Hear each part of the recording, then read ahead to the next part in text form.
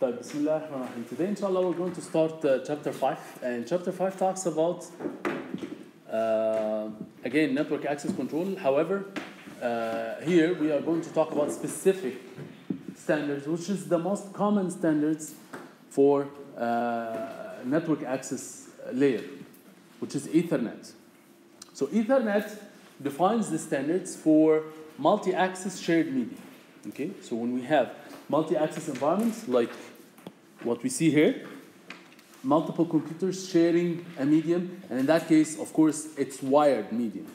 Okay, uh, so uh, as we have de- described before, the standards for the network layer access and sorry, the network layer, and we have the data link layer, which is divided, subdivided into logical link control and the MAC sublayer. Okay, and then we have the PHY, physical layer. As we said, the logical link control is defined separately in a separate document called 802.2 documents or for, for the, the standard specifications for LLC only. Whereas the, uh, uh, the MAC sublayer and the physical layer are both defined in a, docu- in a, in a separate different document called 802.3. Why do we have that division? We talked about that before. Why? Because the, the LLC is, a, is medium independent. So regardless of whether we're talking about a shared medium or whether we're talking about uh, wired, wireless, it doesn't matter. LLC remains medium independent. and also LLC is done in software, whereas the MAC and the PHY are done in hardware. Okay, so if we take a look at this document, we will see uh, lots of aspects related to uh, the physical medium itself, whether we're talking about fiber optics, whether we're talking about um, uh, uh, copper cable, whatever, and the level of sharing, whether we're talking about multi-access like this or point-to-point and stuff like that. So based on that, these two layers, they change a lot. Whereas LLC remains the same. So in fact, even if we talk about wireless, for wireless we have 802.11, or for even Bluetooth and, and uh, personal area networks, we're talking about 802.15. All of these standards, they use the same LLC. Okay? Uh, طبعا LLC it's used to uh, uh, uh, isolate the upper layers, these upper layers, from the physical medium properties. Okay, so it provides the interface to the upper layers with the, uh, uh, with the physical medium properties.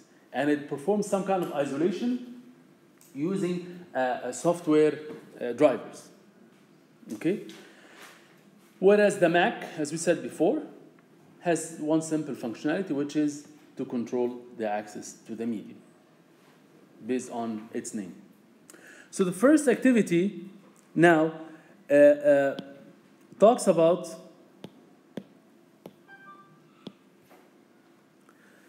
how the uh, Ethernet performs the frame transmission. So here we have, in this shared environment, we have a frame.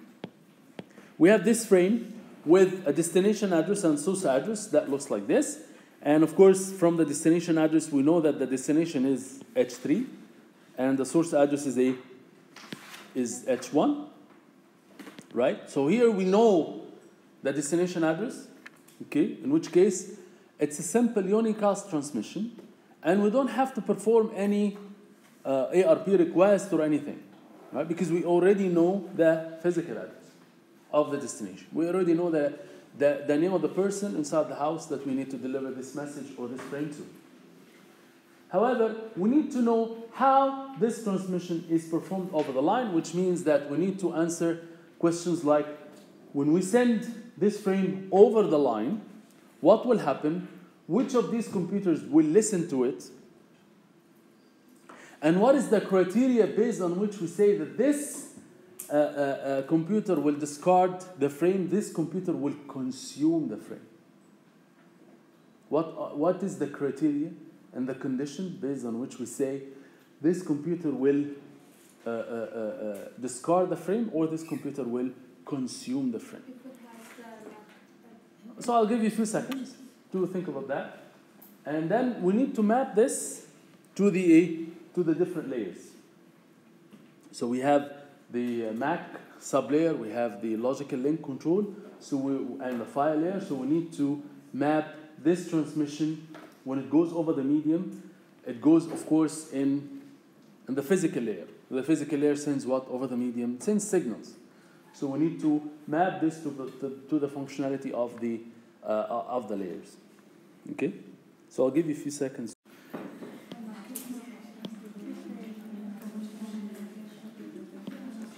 So we have the uh, uh, we have the data link layer, and we have the PHY layer. Okay, so the so when H1 tries to send that frame, the frame still exists in in H1 at the data link layer level, right? When it tries to send that over the shared medium, it's, it, it encapsulates that to the PHY, converts it to a bit, and then the PHY will convert it to signal. So the frame will be sent over the line as a as a signal, right? Encoded signal, like using Manchester encoding or whatever, and then converted to digital signal and sent over over uh, the line. When it's sent over the line, everybody is able to actually listen to it. Right? So all of all of these computers, they will receive the signal. Okay? How would they know that this signal has data for them or not? Then they have to what, what they have to do in that case is that they have to take the bits from the PHY and they have to first send it to their data link layer, convert it into a frame, and uh, uh, uh, extract the header, and from that extract the destination address, and then they have to ask themselves the first question. Okay?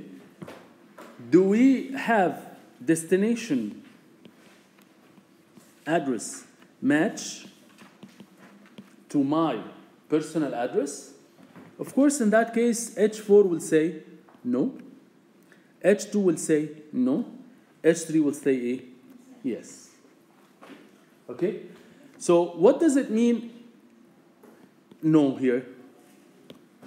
This frame will be a discarded. At that point, those two computers, they will discard the frame, which means that from the data link layer, the frame is discarded and it's, it will never go to the higher layers at all. Okay? And now H, H3 bar, H3 will say, okay, I have a match. This is targeted to me. So in that case, it will have to ask itself the second question. Okay? Do we have an error in the frame? How do we do this? Well, at the destination at H3, we have to perform some logical operation on the data part, as if we don't see the frame check sequence. Okay?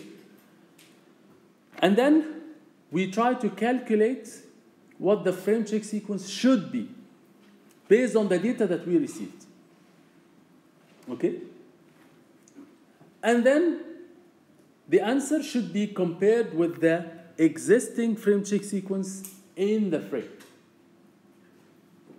If they match, then there's no error. Like for example, a very simple operation, we said that we count the number of ones in the data part. The number of ones came out to be uh, 49. What is the value in the frame check sequence? The value in the frame check sequence is 50. Do we have an error? Yes. Why? Because the, my calculation does not match the frame check sequence in the frame. So what will happen if we have an error? If yes, we have an error, then we discard. If no, only in this scenario, we will send this frame to the to the network layer. This means that we consume it. Okay? So that's what we refer to as H3 will consume the frame. But uh, based on, uh, based on what? Based on the fact that the destination address matches and there is no error in the data part Even if the error exists in one bit. Okay? Then we discard. Otherwise, we send it to the network layer, and the network layer will perform similar functionality, but with some differences, of course, and it will use the logical addressing, but not physical addressing at all. It will have to do the same, a similar operation, but on the logical addressing, which is the, the location address, not the physical address. ماشي كده؟ So that's that's what needs to be done for uh, uh, uh, for frame transmission. Type. Uh, the second activity here is easy. So we just need to distinguish between the functionality of the MAC layer and the functionality of the logical link control.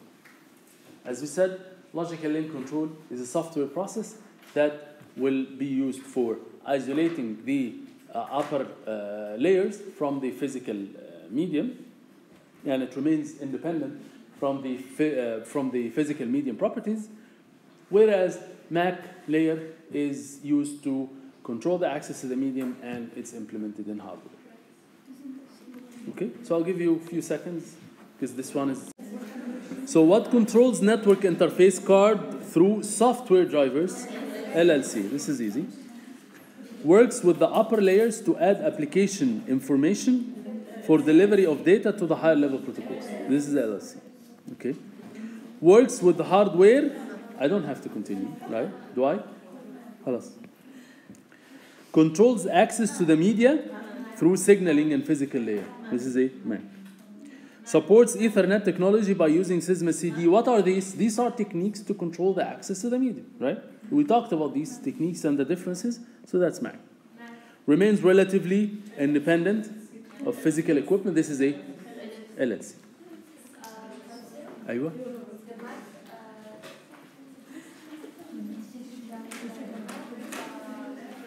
اسمع اسمع اسمع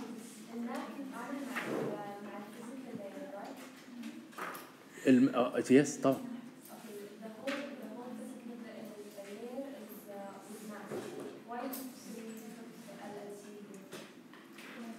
هو ال LLC and the MAC are two sub layers to the data the data link layer. Data link layer is di- subdivided into two sub layers, اللي هي logical link control and the MAC. However, as we said, the data link layer, unlike all other layers, data link layer is, is, is, is designed as a mix of hardware and software. The hardware part is the MAC, and the software part is the LLC.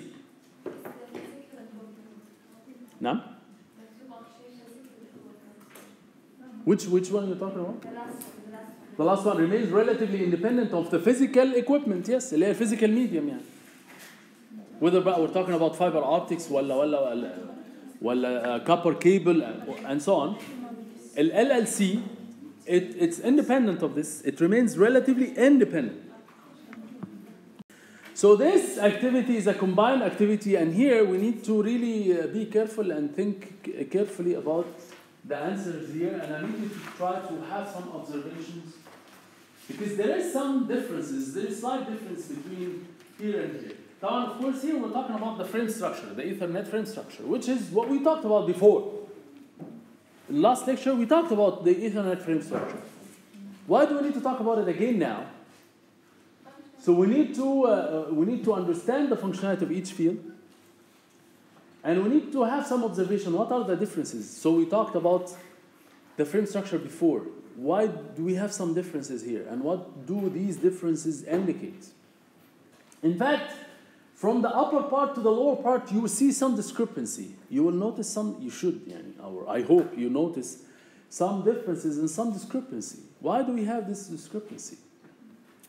Okay, so I'll give you a few minutes to think about that, and then we'll discuss it.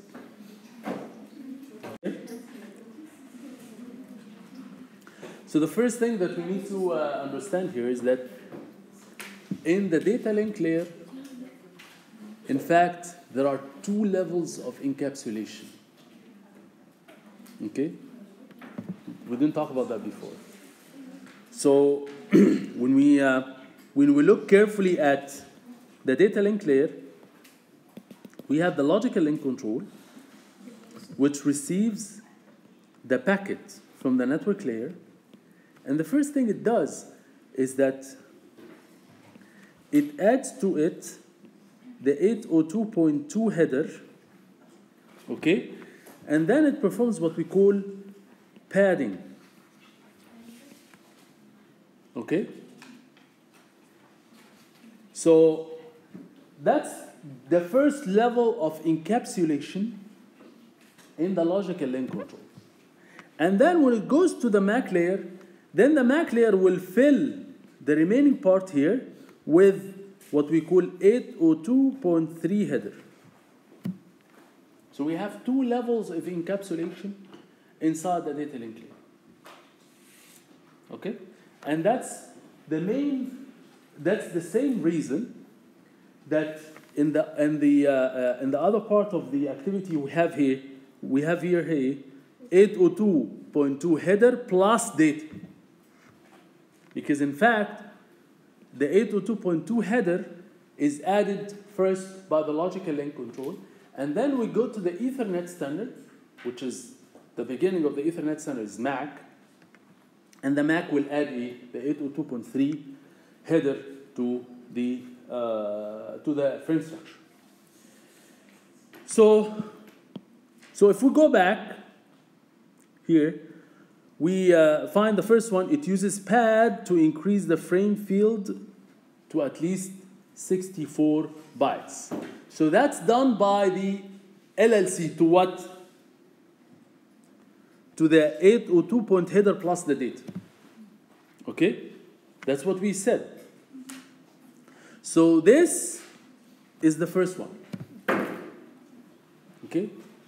So I was hoping you say this is confusing or we didn't talk about that or something like this, but nothing. I got nothing. Okay. طيب. Describes which higher layer protocol has been used. This is a type.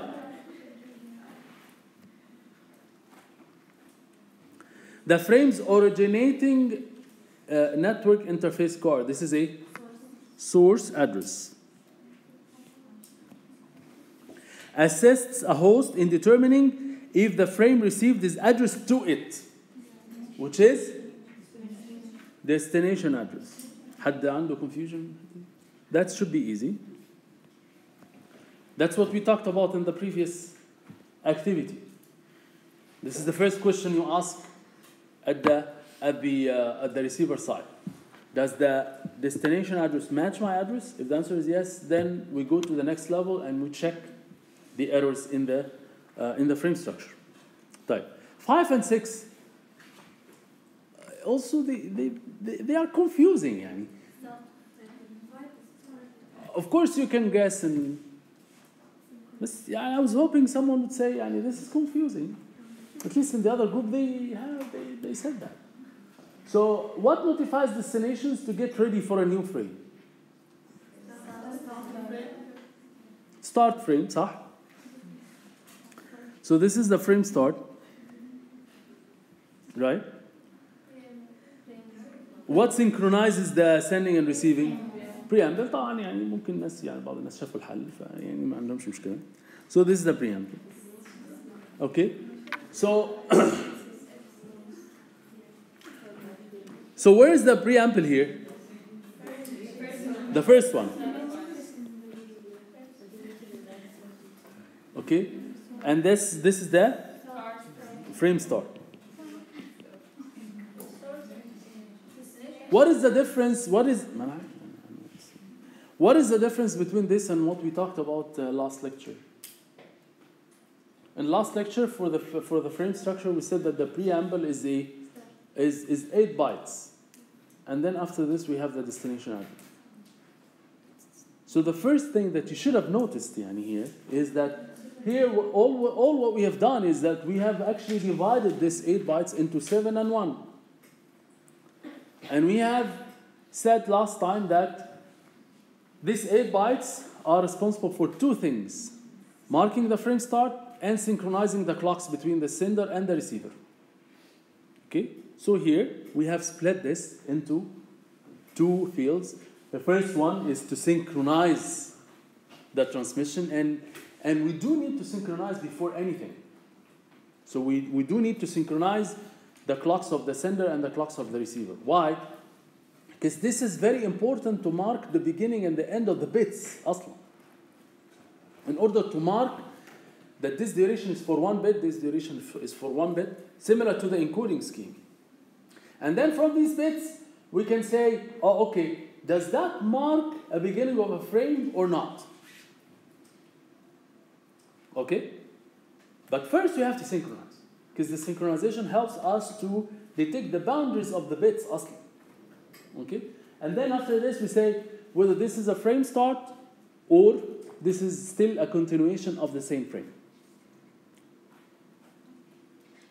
طيب the last one detects error uh, in the Ethernet. This is طبعا ايه واضح. This is the frame check sequence. So now when we go to the bottom part, here we have the destination address. And we talked about why do we have the destination address first before the source address, right? This is the source address. Again, to, this is to speed the operation of the switch. Type. And then, hmm? The, where's type? Hmm? شايفة differences أم يعني why why يعني why did you did you question that you have to question that يعني you say, this is ماشي أنا عارف إن ده length but why is it not type and if this is length where is type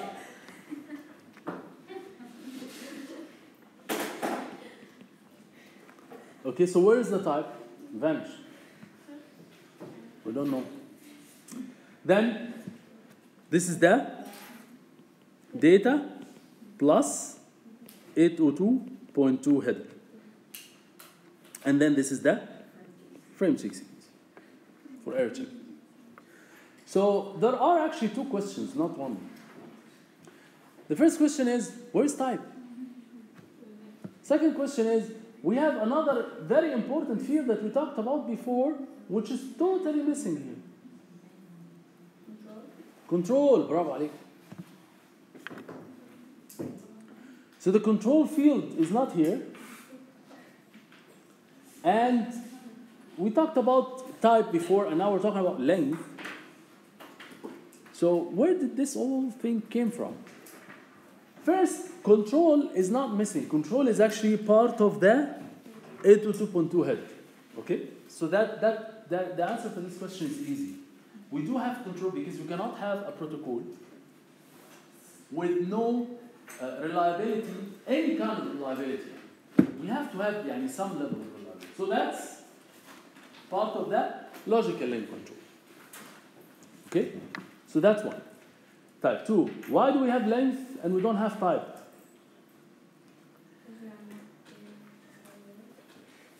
What? Uh, no. We need to have, as we will see later for all the other protocols, we need to have length. We need to have length. Okay? So this length here is the main reason why we do not have frame stop. So, because if I know the start and I know the length, I know where to stop. Okay? So having the length here is, a, is important. But why, why, why did we replace that length with type before? That's, that's part of the historical design of Ethernet. So at the beginning of standardizing Ethernet, we had what we call the baseline Ethernet. The baseline Ethernet, Ethernet is the early version of Ethernet. And it used the length here, top, where is type? Type has been moved to the 802.2 header as well. So in the early versions of Ethernet, the type has in fact been moved to the 802.2 header. Okay? Type. Later on, in, in a later version, in a future, a future version of Ethernet, which is what we call Ethernet 2, for Ethernet 2, they found some sophisticated techniques from the physical layer that will allow us to detect the length of the frame without having to have an explicit field of length inside the frame. How? مع يعني it's not our job لأن هي sophisticated techniques from the signaling level. Okay? That they have designed so that we can, in fact, get the length without having to have a, a- an explicit field called length. Okay? So they have, so in Ethernet 2 and above, they have used that as type. So this field can indicate length or can indicate type, depending on which version of Ethernet we're talking about. In fact, they have used that field because one, one sort of mistake that they did as part of the Ethernet standard, they did not have an explicit field called Ethernet version. Okay? And as we will see later, they have taken that into consideration in all the other standards. They found that they need to have a version field inside the protocol. They didn't do that in the early version of Ethernet. But they said, okay, even though we don't have an explicit field called version, but we can actually conclude what version of Ethernet we're talking about. From what? From this field. From this field. So if this field indicates length, then this field will be 1500 or less because this is the maximum length of the data field that we can have. If this field contains 1500 or less, then this is length and that indicates that this is early version of Ethernet. Okay? If that field is above 1500, then this indicates not length in that case, it indicates type. So the type should be above 1500. Okay? And in that case, we're talking about Ethernet 2.